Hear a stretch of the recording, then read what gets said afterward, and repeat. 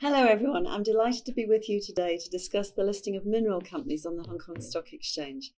Mineral and petroleum companies may list on the Hong Kong Stock Exchange subject to the additional listing eligibility requirements, disclosure standards, and continuing obligations set out in Chapter 18 of the Main Board Listing Rules or Chapter 18A of the GEM Listing Rules.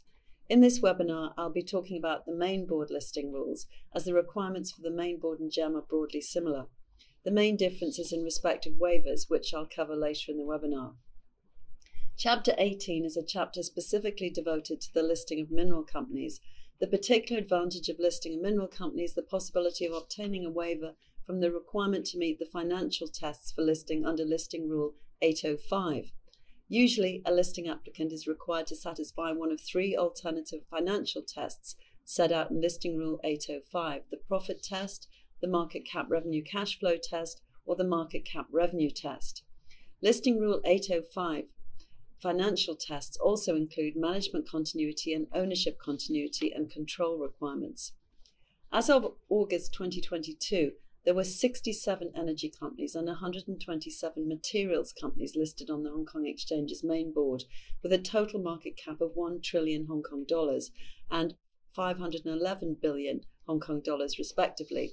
Hong Kong's main board has been a popular listing venue for Chinese mining and energy companies and has hosted the listings of some of China's largest companies in these sectors, including those of China Shenhua Energy Company, China Coal Energy Company Limited, and Zijin Mining Group. Chapter 18 of the listing rules applies to mineral companies which are defined under Listing Rule 1801 as falling into one of two categories First, mineral companies are new applicants whose major activity, whether directly or through their subsidiaries, is the exploration and or extraction of natural resources, which include minerals or petroleum. A major activity is one representing 25% or more of the total assets, gross revenue, or operating expenses of the applicant and its subsidiaries.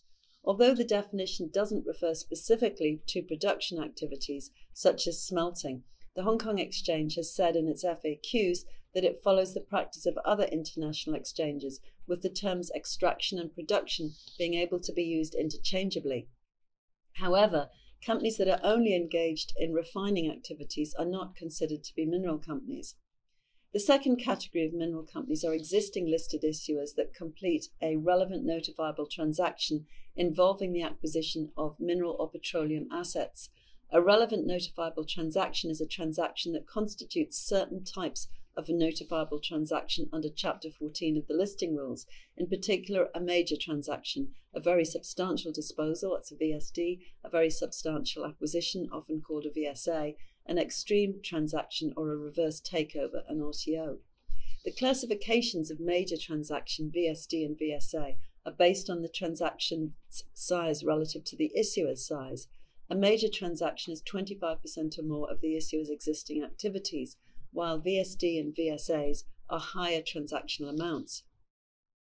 A series of small acquisitions completed over 12 months may be aggregated under Listing Rule 1422. In comparison, an RTO or an extreme transaction is an acquisition or a series of acquisitions of assets by a listed issuer, which individually or together with other transactions or arrangements are an attempt to have the effect of achieving a listing of the acquisition targets. Mineral companies seeking to list on the Hong Kong Exchange need to satisfy the basic and generally applicable eligibility requirements for listing set out in Chapter 8 of the listing rules. The additional eligibility criteria for mineral companies are set out in Chapter 18. First, a new applicant mineral company is required by Listing Rule 18032 to have at least a portfolio of indicated resources in the case of minerals, or contingent resources in the case of petroleum, that are identifiable under one of the accepted reporting standards and substantiated in a competent persons report. A competent persons report is a public report prepared by an independent expert, referred to as a competent person, on resources and or reserves in compliance with Chapter 18.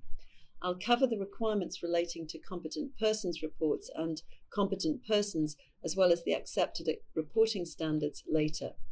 Indicated resources are mineral resources for which the tonnage, density, shape, physical characteristics, grade, and mineral content can be estimated with a reasonable level of confidence. Contingent resources refer to quantities of petroleum which are estimated to be potentially recoverable from known accumulations by applying development projects, but are not currently considered to be commercially recoverable because of one or more contingencies. The portfolio of resources indicated or contingent must also be meaningful and of sufficient substance to justify a listing. These requirements mean that early stage or pure play exploration companies are not eligible for listing under Chapter 18 rights of active participation. Under Listing Rule 18031, a new applicant mineral company must establish that it has the right to actively participate in the exploration for and or extraction of resources through either one of two ways. Firstly, through control over a majority by value of the assets in which it has invested, together with adequate rights over the exploration for and or extraction of resources. This will normally be interpreted as an interest of more than 50% by value in its total assets. Secondly, through adequate rights arising under arrangements acceptable to the Hong Kong Exchange, which give the company sufficient influence in decisions over the exploration for and or extraction of the resources. According to the exchange's guidance letter GL 5213, adequate rights may be demonstrated through joint ventures, product profit sharing arrangements, or other valid arrangements which give sufficient influence, which the Hong Kong Exchange ordinarily expects to be at least a 30% interest, corresponding with the level of controlling interest under the listing rules. Other arrangements where an applicant has an interest below 30% but actively operates mining projects may be considered by the Hong Kong Exchange, depending on the facts and circumstances of the particular case. Examples of such other arrangements which may demonstrate adequate rights giving the applicant sufficient influence include exploration and or extraction rights granted under specific government mandates or the ability of an applicant to veto resolutions. The Hong Kong Exchange said in its 2010 consultation conclusions on new listing rules for mineral companies that it would adopt a purposive approach in determining what is appropriate in specific circumstances and place the onus on applicants to demonstrate the adequacy of their rights and sufficiency of influence. Working capital requirements. Listing Rule 80, 18034 requires a new applicant mineral company to demonstrate that it has sufficient working capital for 125% of the group's requirements for the next 12 months, including general administrative and operating costs, property holding costs, and the cost of any proposed exploration and or development, which are costs relating to the applicant's daily operation, for example, contracting fees for excavating minerals and transport fees for delivering minerals.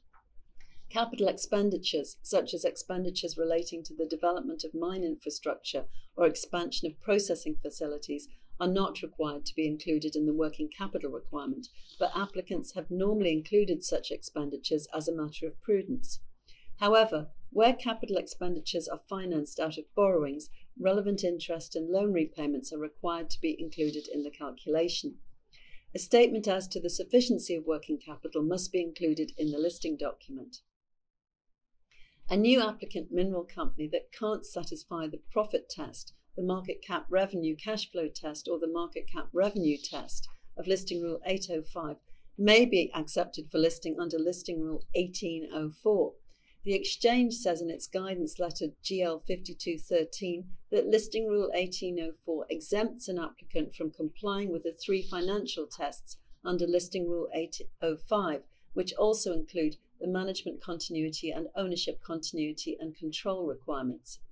In order to be eligible for a waiver under Listing Rule 1804, a listing applicant must establish that it fulfills conditions relating to the path to commercial production directors and management experience, and primary activity. So, what is the path to commercial production? The Exchange said in its 2010 consultation conclusions on new listing rules for mineral companies that a mineral company seeking a waiver from the financial eligibility tests of Listing Rule 805 must be able to demonstrate a clear path to com- commercial production to qualify for the waiver. This was not codified in the listing rules. However, the Exchange acknowledged in its guidance letter GL 5213 that it has been applying the rule in practice. GL 5213 says that in order to demonstrate a clear path to commercial production, the applicant must satisfy certain conditions. First, they must have carried out exploration and or development activities on some or all of their mining assets during part or all of the track record period. These assets are defined as pre-production mining assets. If all a company's mining assets were under production throughout the track record period, this condition would not be satisfied.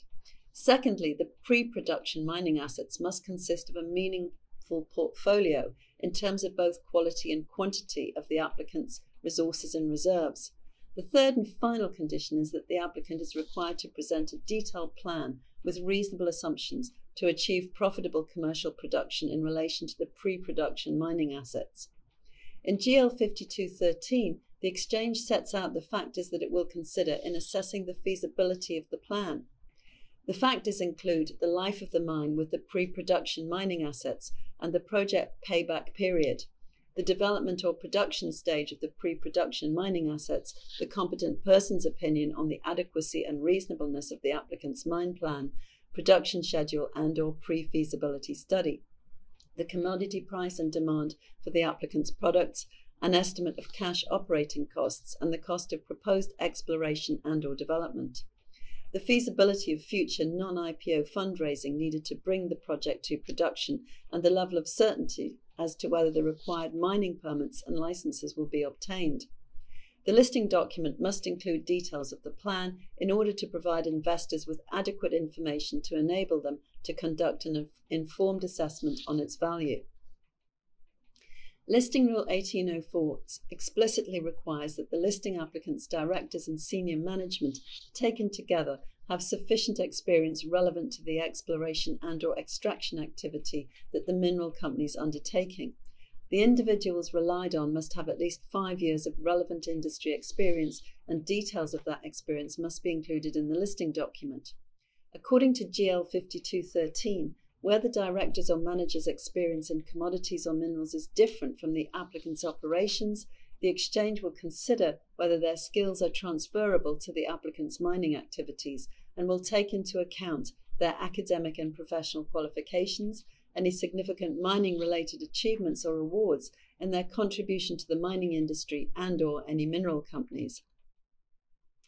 As set out in a note to Listing Rule 1804, a waiver will only be available to listing applicants whose primary activity is the exploration for and or extraction of resources. This does not have to be its sole activity, but it should be its main focus. As I mentioned at the beginning, Chapter 18A of the GEM listing rules covers the listing of mineral companies on GEM, and the main difference with Chapter 18 of the main board listing rules is in respect of waivers. Instead of being able to obtain a waiver under Main Board Listing Rule 1804 of the requirement to satisfy the Main Board financial tests for listing, GEM Mineral Company applicants can obtain a waiver under GEM Listing Rule 18A04 only from the two financial years track record requirement under GEM Listing Rule 1112A and the requirement for the accountant's report to cover two financial years. A note to GEM Listing Rule 18A04 says that where the exchange accepts a trading record of less than two financial years, the applicant is still required to satisfy the minimum 30 million Hong Kong dollar cash flow requirement for the shorter trading record period. In addition to the listing document disclosure requirements that generally apply to issuers, mineral companies must satisfy additional listing document disclosure requirements. Listing Rule 18051 requires a new applicant mineral company to include in its listing document a report on its resources and reserves prepared by the competent person, a competent persons report. I'll discuss the requirements for competent persons reports a bit later. The listing rules set out additional disclosure requirements specific to pre production stage mineral companies and production stage mineral companies. Under Listing Rule 1807, a listing applicant that has not yet commenced production is required to disclose in its listing document its plans to proceed to production with indicative dates and costs. These plans must be supported by at least a scoping study, which is defined in Listing Rule 1801 as a preliminary evaluation of a mineral project, including an assessment of the economic viability of mineral resources, in which should include forecast production schedules and cost estimates based on data under which the resources are identified. If a project survives a scoping study, it provides an indication that it is appropriate to proceed with further work and commission a pre feasibility study. Accordingly, scoping studies are only required for mining companies which have not yet commenced production. Listing Rule 1807 requires the scoping study to be substantiated by the opinion of a competent person. It may, but is not required to, form part of the competent person's report. Where the exploration or extraction rights have not yet been obtained, there must be prominent disclosure in the listing document of any risks relevant to obtaining these rights. A mineral company involved in the exploration for or extraction of resources is required by Listing Rule 1808 to disclose prominently that its resources may not ultimately be extracted at a profit. In respect of production stage companies, Listing Rule 1806 requires mineral companies that have commenced production to disclose an estimate of the operating cash cost per appropriate unit for the minerals and or petroleum produced under Listing Rule 18033, applicants must set out the components of specified cash operating costs separately by category, including workforce employment, consumables, fuel, electricity, water, and other services, on and off site admin, environmental protection and monitoring, transportation of workforce, product marketing and transport, non income taxes, royalties and other governmental charges, and contingency allowances. Applicants are also required to explain the reason for any departure from the list of items to be included under cash operating costs and discuss any material cost items that should be highlighted to investors. Material cost items include items such as favourable tax treatment for a limited time or that may be subject to challenge or a temporary disruption to transportation routes which resulted in increased costs for a limited time. Listing Rule 1805 sets out other matters which are required to be disclosed in the listing document of a mineral company, irrespective as to whether it is pre production or has commenced production. The listing document must include the nature and extent of the company's prospecting, exploration, exploitation, land use, and mining rights, and a description of the properties to which those rights attach. This includes the duration and other key terms and conditions of the concessions, as well as any licenses and consents required. The applicant must also disclose details of material rights to be obtained. The listing document must include a statement of any legal claims or proceedings that may influence the company's rights to explore or mine. Further, specific and general risks should be disclosed, having regard to Guidance Note 7 of the listing rules suggested risk assessment for mineral companies. According to GL 5213, mineral companies should follow Guidance Note 7 on risks disclosure to the extent applicable or ensure the risks disclosed in the listing document are no less than those set out in the guidance note. The guidance letter further provides that all material risks mentioned in the competent persons report should be disclosed in the risk factors section of the listing document. Listing Rule 1805 also specifies matters that must be disclosed if relevant and material to the mineral company's business operations. This includes project risks arising from environmental, social, and health and safety issues, the impact of any non-government organization on the sustainability of mineral and or exploration projects, as well as environmental liabilities of the company's projects or properties. This also includes disclosure of sufficient funding plans for remediation, rehabilitation, and closure and removal of facilities in a sustainable manner. If relevant and material, applicants must disclose their compliance with host country laws, regulations, and permits, their historical experience of dealing with host country laws and practices, including management of differences between national and local practice, and payments made to host country governments in relation to tax, royalties, and other significant payments on a country by country basis. Further, applicants are required to disclose, if relevant and material, their historical experience of dealing with the concerns of local governments and communities on the sites of their mines, exploration properties, and relevant management arrangements, as well as any claims that may exist over the land on which exploration or mining activity is being carried out, including any ancestral or native claims. The Hong Kong Exchange in GL 5213 sets out additional expectations for mineral companies' listing document disclosure, covering the summary, business and financial information sections, the competent persons report and related disclosures, and general drafting guidelines. For example, in the financial information section, the guidance letter provides that the Hong Kong Exchange expects disclosure of a sensitivity analysis on the impact of changes in the price of mineral or petroleum assets, contracting fees, utility expenses and or transportation costs, if material, on the applicant's financial results for the track record period and the forecast period. There should be disclosure of the exploration expenses during the track record period and up to the latest practicable date and how they were accounted. The exchange also expects disclosure of the expected time when a project under development will become self sufficient in terms of working capital and funding, as well as the additional funding amount needed to attain such level of self sufficiency. In respect of the Competent Persons Report, GL 5213 provides, amongst other things, that if the competent person has a different view on certain assumptions made by the applicant, such as the processing recovery rate, the listing document should disclose both views, highlight the differences between the views, disclose the underlying reasons for the different views, and, if the more conservative view is adopted, the impact on the applicant.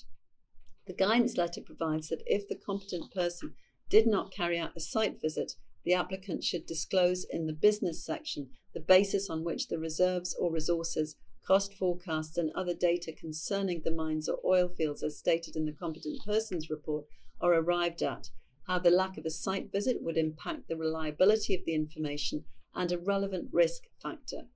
The sponsor should submit to the exchange the basis that the competent person considers unnecessary to conduct verification work by carrying out any facility or on site investigation.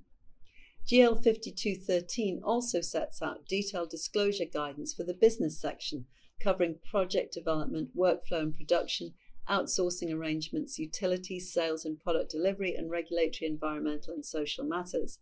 For example, the business section should include a summary of all outstanding approvals and the current status of the relevant applications, as well as any restriction on the renewal of exploration and mining permits. It should also include the legal advisor's view with basis on the mineral company's ability to obtain and or renew all relevant licenses, permits and approvals for its proposed exploration and mining activities.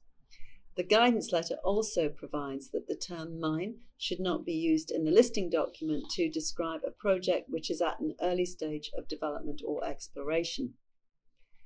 The listing document should observe the reporting standards and requirements specific to Chapter 18 companies, which I'll talk about a bit later. Descriptions of reserves and resources in the listing document have to correspond to the specific categories in the accepted reporting standards. The directors should ensure there's no mismatch between statements about reserves and resources in the listing document and in the competent persons report. I'll now talk about competent persons reports and valuation reports. So a competent persons report is a public report prepared by a competent person on resources and or reserves under chapter 18 of the listing rules.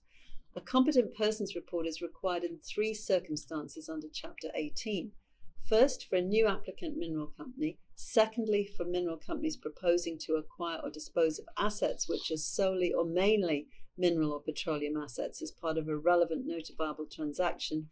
Thirdly, for listed issuers that are not mineral companies proposing to acquire assets which are solely or mainly mineral or petroleum assets as part of a relevant notifiable transaction. The Hong Kong Exchange sets out in GL 5213 that although not required under the listing rules, mineral companies' internal experts, who are likely to be qualified geologists and competent persons, may prepare estimates of reserves at other times. For example, updates on reserves and resources in annual reports. Updates on exploration, mining, production, and development activities in interim and annual reports may also include statements of reserves and resources. Competent persons reports must be prepared in accordance with recognized reporting standards that are acceptable to the Hong Kong Exchange. I previously mentioned that a Chapter 18 listing applicant is required by Listing Rule 18032 to establish that it has at least a portfolio of indicated resources or contingent resources, which must be substantiated in the competent person's report. The Hong Kong Exchange provides additional guidance in GL 5213 on this disclosure requirement. Given the considerable burden and impracticality of requiring an applicant to include in its listing document a competent persons report for each and every resource, regardless of its size or development stage or ownership status, the Hong Kong Exchange says in Guidance Letter GL 5213 that it has previously granted waivers permitting applicants to exclude part of their mining assets from the competent persons report. These are called excluded projects.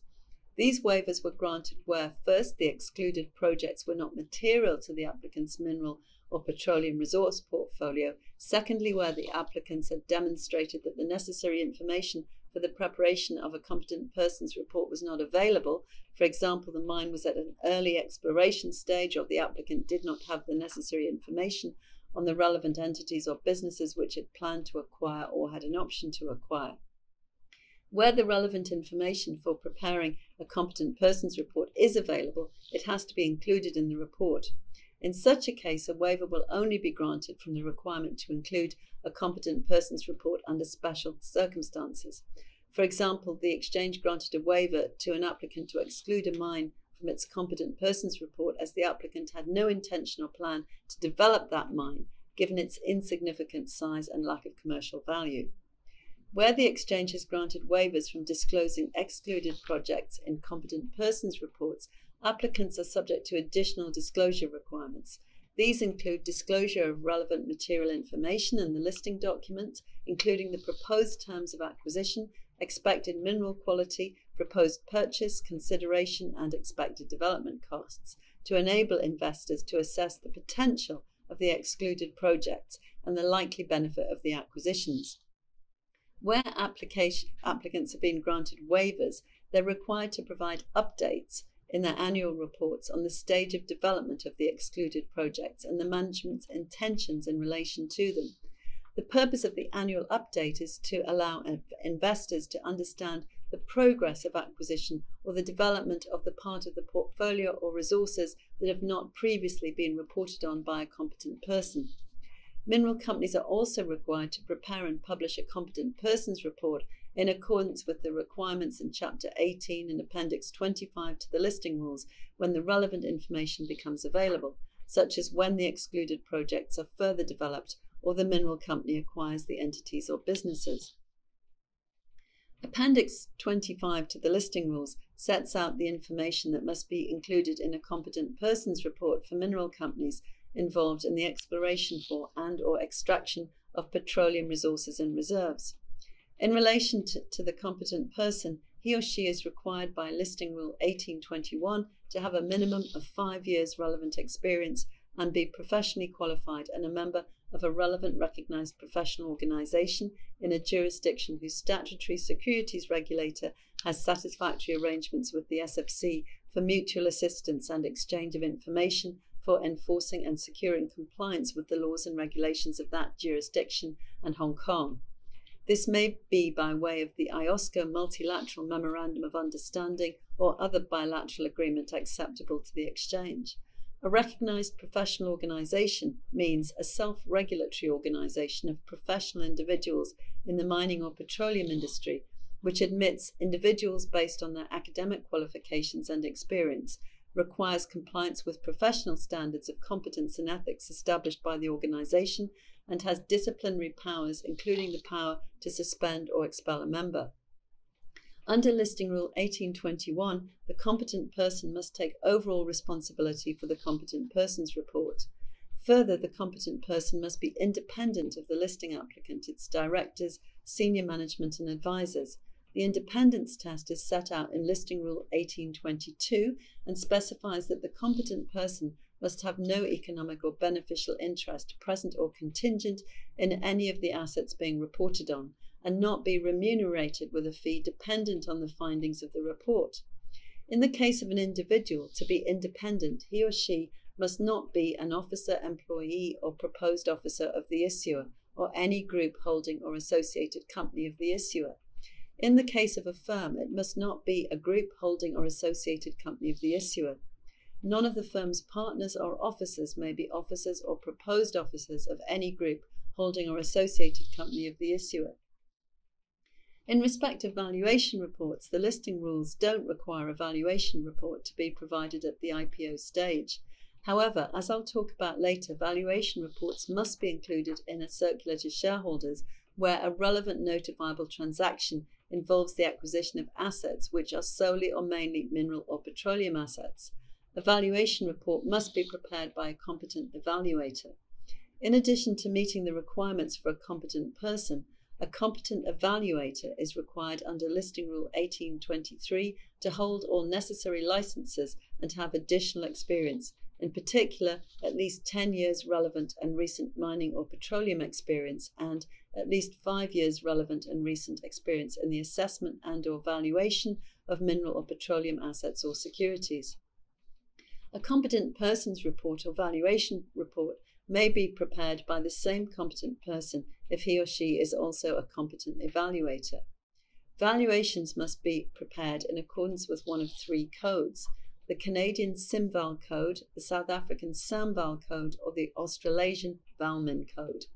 A mineral company must ensure that the competent evaluator states clearly the basis of valuation, relevant assumptions, and the reason why a certain method of valuation is regarded as the most appropriate, taking into account the nature of the valuation and the development status of the mineral or petroleum asset.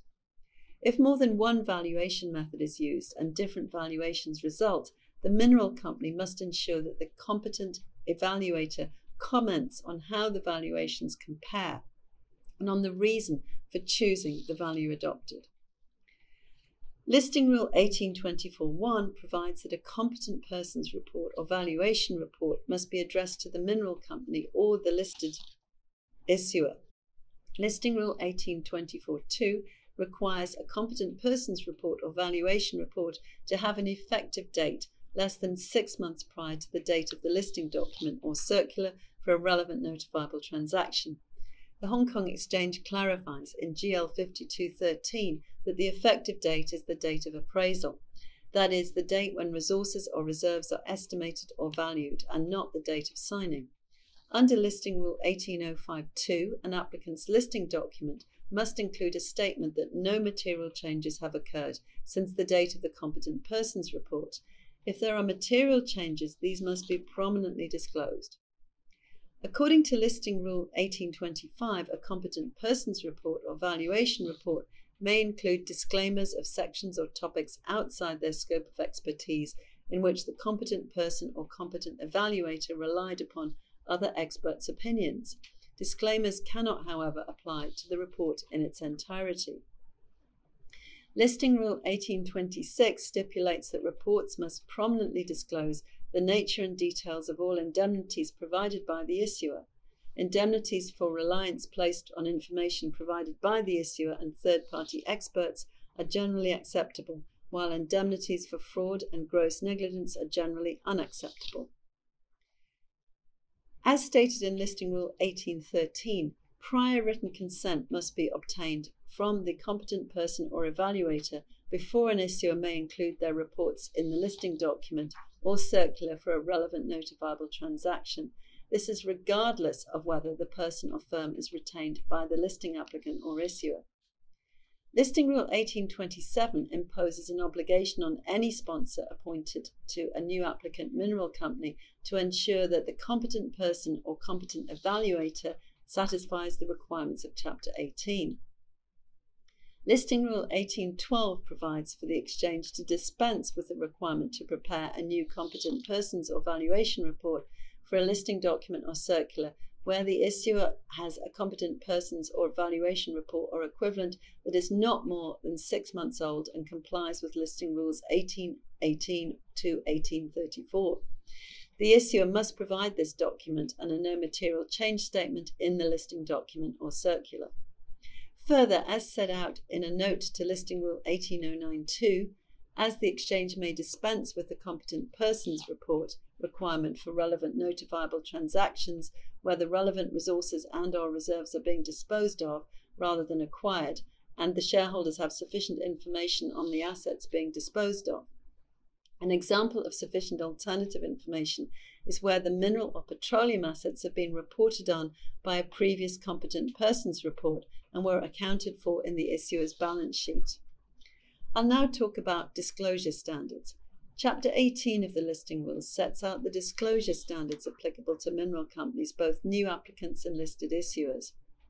Listing Rule 1829 says that information disclosed by a mineral company on mineral resources, reserves, and or exploration results, including a competent persons report, must be prepared in accordance with Australasian JORC Code, the Canadian National Instrument 43101, or the South African SAMREC Code.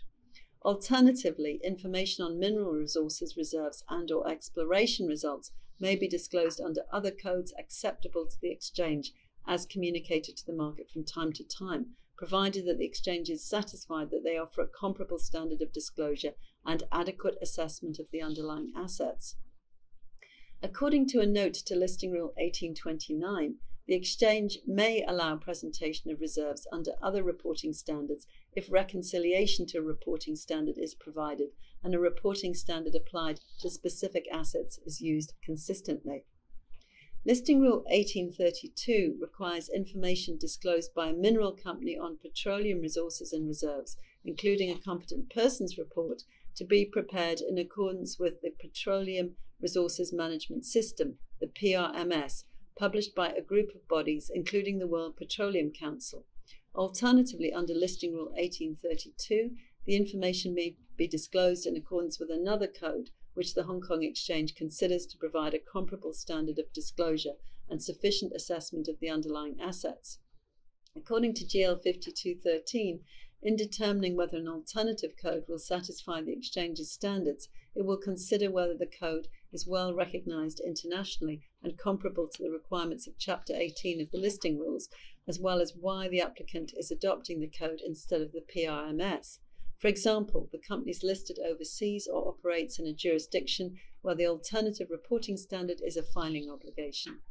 An accepted reporting standard applied to specific assets must be used consistently. Listing Rule 1818 says that data or resources and or reserves presented in certain documents, including a listing document, a competent persons or valuation report, or an annual report, must be presented in tables in a manner readily understandable to a non-technical person.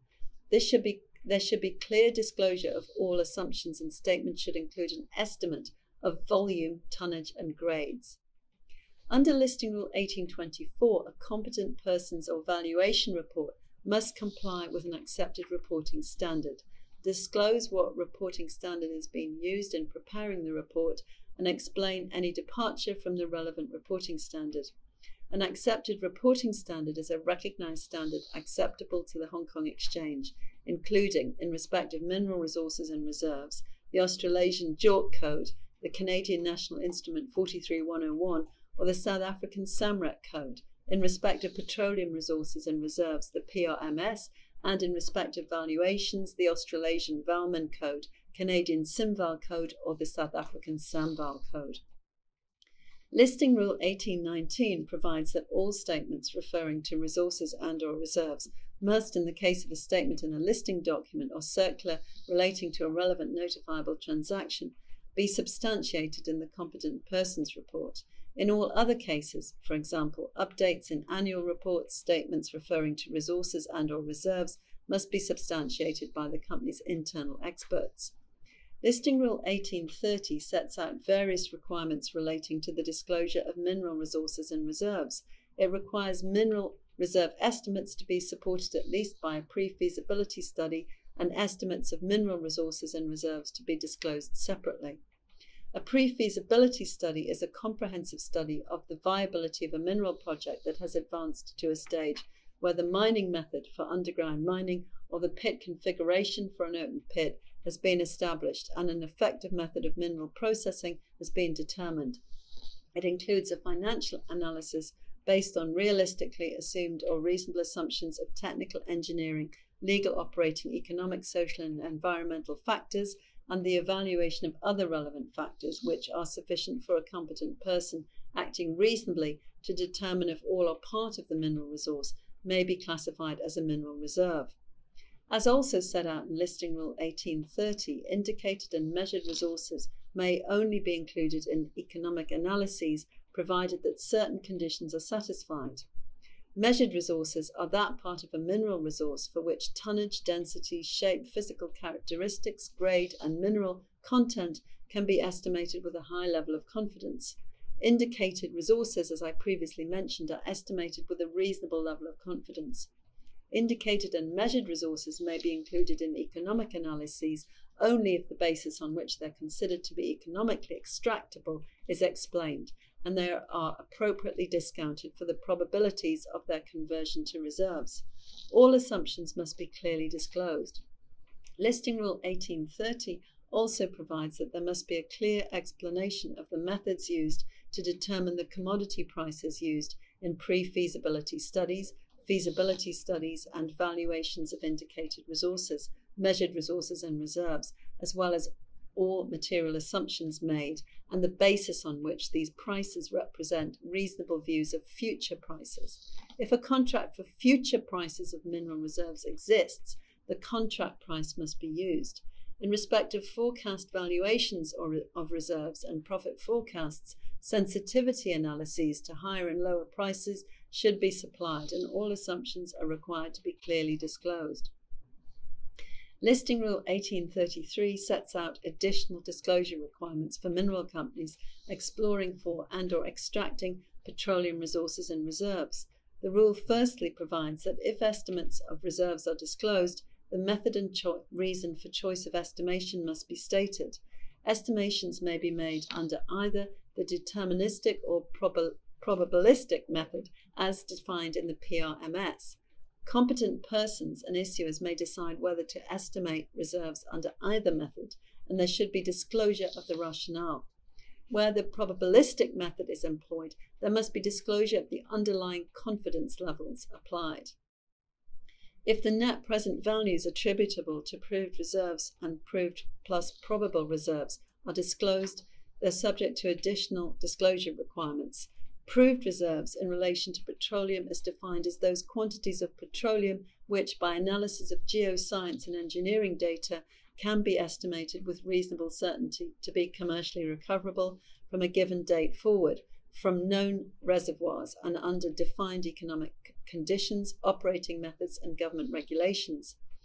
Probable reserves are those quantities of petroleum which analysis of geoscience and engineering data show are less likely to be recovered than proved reserves, but more certain to be recovered than possible reserves.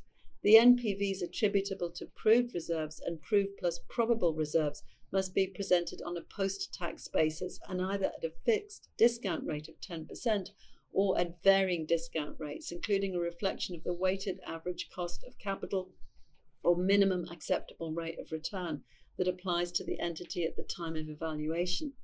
The Hong Kong Exchange sets out in GL 5213 the circumstances in which it will allow presentation of NPVs on a pre tax basis, in addition to the post tax presentation, namely if such disclosure is required or allowed under a widely adopted reporting standard and is in line with disclosure made by comparable listed companies. Listing Rule 1833 also provides that proved reserves and proved plus probable reserves must be analysed separately, and the principal assumptions, including prices, costs, exchange rates, and effective date, and the basis of the methodology, should be clearly disclosed. In the NPVs attributable to reserves, if the NPVs attributable to reserves are disclosed, they have to be presented using either a forecast price or a constant price as a base case. Constant price means the unweighted arithmetic average of the closing price on the first day of each month within the 12 months before the end of the reporting period. Unless prices are defined by contractual arrangements, there must be disclosure of the bases for the forecast case and the basis on which the forecast price is considered reasonable. Applicants are also required to present sensitivity analyses to higher and lower prices for forecast valuations of reserves. In the forecast case under the PRMS, the economic evaluation underlying the investment decision is based on the entity's reasonable forecast of future conditions, including costs and prices which will exist during the life of the project. Listing Rule 1833 further says that if estimated volumes of contingent resources or prospective resources are disclosed, relevant risk factors also have to be stated. Prospective resources are quantities of petroleum estimated as of a given date to be potentially recoverable from undiscovered accumulations. Under the PRMS, whether the volume of a contingent res- resource is stated, risk is expressed as the chance that the accumulation will be commercially developed and graduate to the reserves class.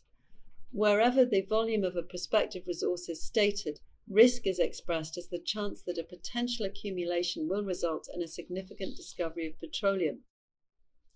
Listing Rule 1833 also says that where an estimate of future net revenue is disclosed, whether calculated without discount or using a discount rate, there must be prominent disclosure that the estimated values do not represent fair market value. Economic values must not be attached to possible reserves, contingent reserves, or prospective resources. The reason for this requirement is that the measurement of such values normally lacks a widely accepted industry standard and is estimated with a high level of uncertainty. However, the Hong Kong Exchange has previously granted a waiver from this requirement in a case discussed in GL 5213 in that case, the applicant's petroleum resources, which were oil sand, were in Canada and subject to Canadian National Instrument NI 151101. The, this instrument allows disclosure of estimates of both the volumes and values of all reserves and resources, including possible reserves, contingent resources, and prospective resources. The applicant's disclosure was in line with disclosures made by comparable companies listed in Canada. In addition, the existence of the applicant's petroleum resources was more certain than typical petroleum resources such as oil. This was primarily due to the abundant amount of oil sand in the location where the applicant op- operated, and the recoverability was mostly within the applicant's control because it was primarily dependent on the applicant's commitment to development. In addition to the disclosure and other continuing obligations applicable to all listed companies, listed mineral companies are subject to additional ongoing disclosure requirements in Chapter 18 of the listing rules. Mineral companies are required by Listing Rule 1814 to disclose in their half yearly and annual reports details of their exploration, development, and mining production activities, as well as a summary of expenditure incurred on these activities during the relevant period. If no exploration, development, or production activity is being conducted, this must be disclosed. Under Listing Rule 1816, mineral companies must provide an annual update of their resources and or reserves in their annual reports. Updates have to be prepared in accordance with the accepted reporting standard under which they were previously disclosed. Annual updates are not required to be supported by a competent persons report and may be prepared by the company's own internal experts. Annual updates may also be achieved by way of a no material change statement which can be prepared internally. Non-mineral company listed issuers that publicly disclose details of their resources and or reserves are also required by Listing Rule 1815 to provide annual updates of those resources and or reserves in their annual reports. These updates must be prepared in accordance with the reporting standard under which they were previously disclosed or one of the accepted reporting standards. They can also take the form of a no material change statement. In Guidance Letter GL 4713, the Hong Kong Exchange provides additional guidance on the disclosures required in the annual and half yearly financial reports of mineral companies and other listed issuers that publicly disclose details of their resources and or reserves. Listing Rule 1809 provides that a mineral company which proposes to acquire or dispose of assets which are solely or mainly mineral or petroleum assets as part of a relevant notifiable transaction are required to comply with certain requirements. They must comply with the requirements for notifiable transactions of Chapter 14 of the listing rules, and if relevant, the requirements for connected transactions of Chapter 14A of the listing rules.